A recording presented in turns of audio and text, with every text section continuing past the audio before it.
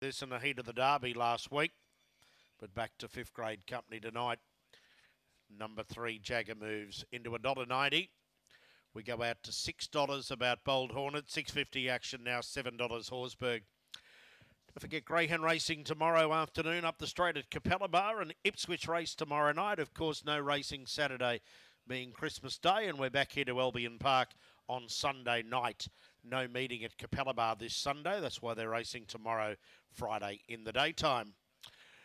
Green light is on. This is race number 10, Albion Park. Favourite three, Jagger moves. They're ready. Off now, Jagger moves away quickly, showing speed was Black Magic Mojo to join it. But now Jagger, the moves like Jagger, goes through and takes the lead. Down the outside, Madison, followed by Black Magic Mojo. Then a break to Horsburgh, Fernando Travis. Well back, Bold Hornet action now, and Savannah Bronze to the tail. Jagger moves off and gone off the back. He leads by six lengths, going to second Horsburgh, followed by Madison. The rest headed by Black Magic Mojo, but it's all Jagger moves in the straight. Jagger moves far too good, one by by four and a half. Horsburgh, not a bad run, second. Third, Madison. Followed then by Fernando Travis, Black Magic Mojo. Followed by Bold Hornet, a break to action now. Savannah Bronze last. 29.91 the run.